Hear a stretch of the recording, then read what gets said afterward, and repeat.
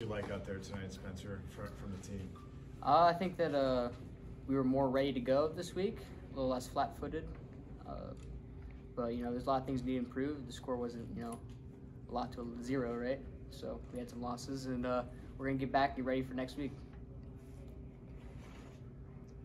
How much better do you feel personally, maybe than just a year ago? I mean, it just seems like every match is 18 nothing, 18 nothing. Well, I mean, I- my, my mindset is to score points, and I'm going to try and score points every second of the entire match for seven minutes and more if needed.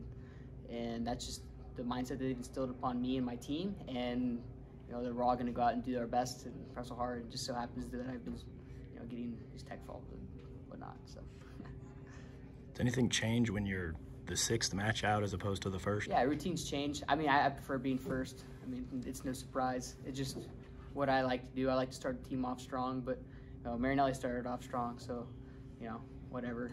Wrestling's wrestling. Uh, it doesn't matter.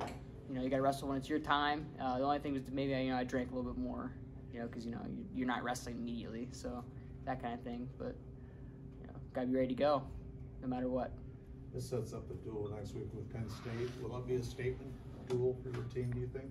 I mean, every duel is a statement duel for our team. We're just going out there wrestling our hardest and proving that we can be the best in the country. Right now, we are. We just got to keep it going. We haven't won nationals yet, have we? So we got to keep going every single week, do our best, improve, and get ready for you know the big show when it counts in March.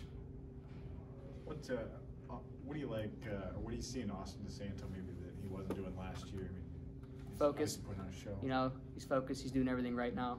Uh, he's got to you know do everything right. Every week on uh, in the practice room, he's he's calmer. He's he's becoming more of a leader, and we need that. And we need that from all our guys. Every single one of them, all 36 of us. Did you get to see his match? for you? I did. I did.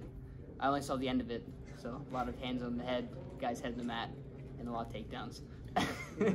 so I was still doing my workout after. So he kept that relentless pace that we all know Austin Santo can do. No one can keep that pace.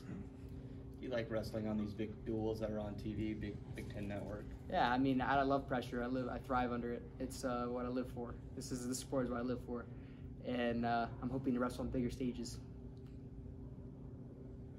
Okay, thank you, Spencer.